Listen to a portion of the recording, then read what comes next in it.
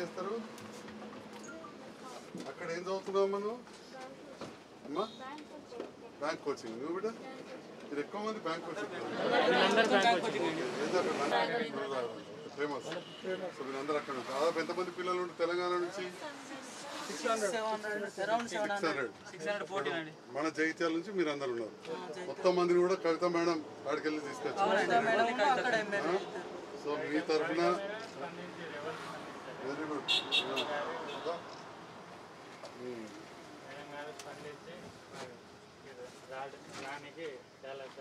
ఎవరు? కవిత మేడం గారు. కవిత మేడం గారు మేడం గారు లోకల్ ఎమ్మెల్యే గారు. ఓకే. మేడం గారు మాట్లాడి మనకు చేసింది ఆ, చాలా థ్యాంక్స్. ఇక్కడ కూడా మమ్మల్ని రిసీవ్ చేసుకోమని చెప్పారు. నేను తెలుసు కదా మీ అందరు సో రిసీవ్ చేసుకోమన్నారు అందరు విష్ ఆల్ ద బెస్ట్ ఇంటి దగ్గర కూడా జాగ్రత్త తిరగకుండా అందరూ మాస్క్ ముట్టించుకోండి ఆ, మీకు అన్ని తెలుసు చదువుకున్న వాళ్ళే wash your hands okay wish all the best thank you very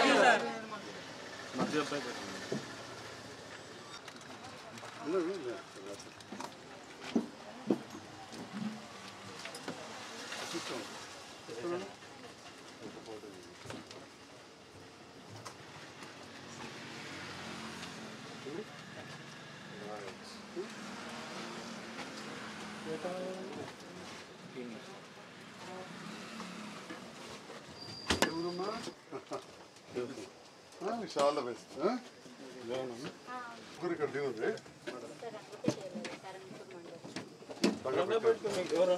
sarpanch రమ్మలేవు మీ ఇంటికి ఎవరన్నా?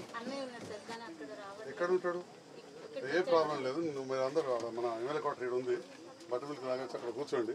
మీరు ఫ్రెష్ అవుతుంటే కూడా బాత్రూమ్ అది ఉంది. ఊర్లోకి పోయే వాళ్ళు ఇక్కడ వెయిట్ చేయవచ్చు ఆ, వెయిట్ చేసి మీ వాళ్ళని రమ్మనుకొని పోండి. ఇక్కడనే ఉన్నదమ్మా.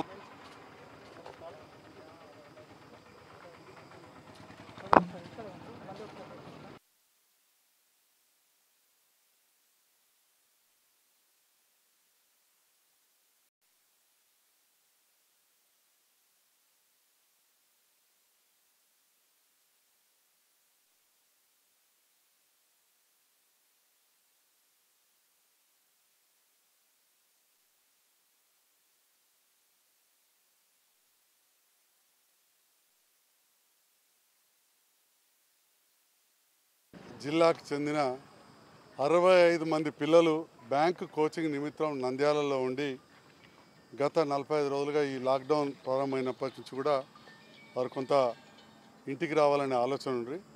అప్పటి నుండి కూడా ప్రీతం నాయకులు కవిత గారు అక్కడ నంద్యాల ఎమ్మెల్యే కర్నూలు నాయకులతో మాట్లాడి అక్కడ వాళ్ళకి అన్ని వసతులు కూడా ఇన్ని రోజులు కల్పించడం జరిగింది. ఎప్పుడైతే కేంద్ర ప్రభుత్వం అంతర్రాష్ట్ర సరిహద్దులు కూడా దాటొచ్చని చెప్పి లాగ్ దాన్ని ఎత్తివేసిరో ఈ అంతర్రాష్ట్ర సరిహద్దులు దాటొద్ద దాటొచ్చు అని చెప్పి నిర్ణయం తీసుకున్నారో బస్ అరేంజ్ చేసి వాళ్ళందరినీ ఇక్కడ తీసుకొచ్చినందుకు జగిత్యాల నియోజకవర్గ శాసనసభ్యునిగా ప్రియతమ నాయకురాలు కవిత గారికి ధన్యవాదాలు తెలియజేస్తున్నా. ఆ పిల్లలందరూ కూడా చాలా సంతోషంగా ఉన్నారు విద్యావంతులు. ఎక్కువ మంది కూడా బీద మధ్యతరగతి వాళ్ళే. మంచిగా చదువుకొని పైకి రావడానికి అక్కడికి వెళ్ళినవారు.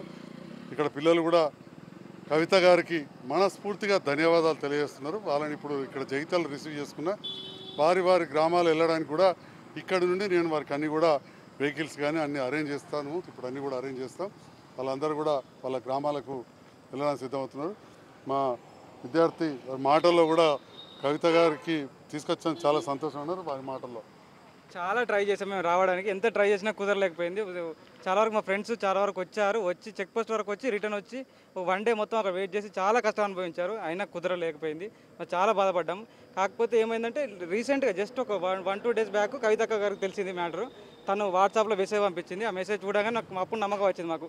అది వెళ్ళడానికి ఆస్కారం ఉంది. అక్క స్పందించింది అని. అక్క చెప్పిన మాటలతో ఖచ్చితంగా అనుకున్నాము వెళ్ళిపోతామని. గత వన్ డేలో జరిగిపోయింది వచ్చేసినాం. మాది బాలపల్లి గ్రామం ఈ జగిత్యాల మండలం.